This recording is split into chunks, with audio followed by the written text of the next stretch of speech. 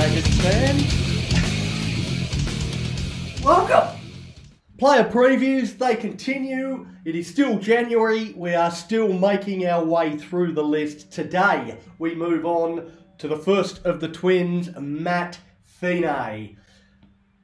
There's never been too much difference between the Feagai twins, both in terms of appearance and rugby league ability. But if pushed, if pushed really hard at the start of 2021, Matthew would have been considered the inferior twin. Now, they're both centres. However, coming up through the grades, it's always been Matt that ended up getting pushed out onto the wing, while Max generally got his preferred centre spot. By the end of the 2021 season, Matt had turned the tables on his twin brother, playing in the last seven games of the season, starting in the NRL side.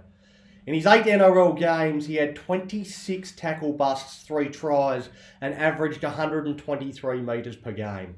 Now, Mika Ravalawa is guaranteed of one wing spot outside Zac Lomax, but there is a real fight for that, uh, that other wing spot with Matt right in the mix, with his twin brother, Cody Ramsey, and also new recruit Tautau Moga.